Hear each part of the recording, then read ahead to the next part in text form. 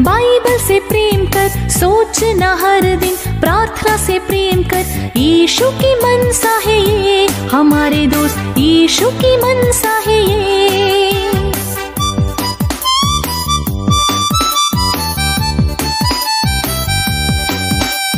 प्रार्थना करी यदि सच्चे तो दिल से, प्रार्थना तेरी वो सुनेगा प्यारे। यीशु की मनसा है ये, हमारे दोस्त यीशु की मनसा है ये।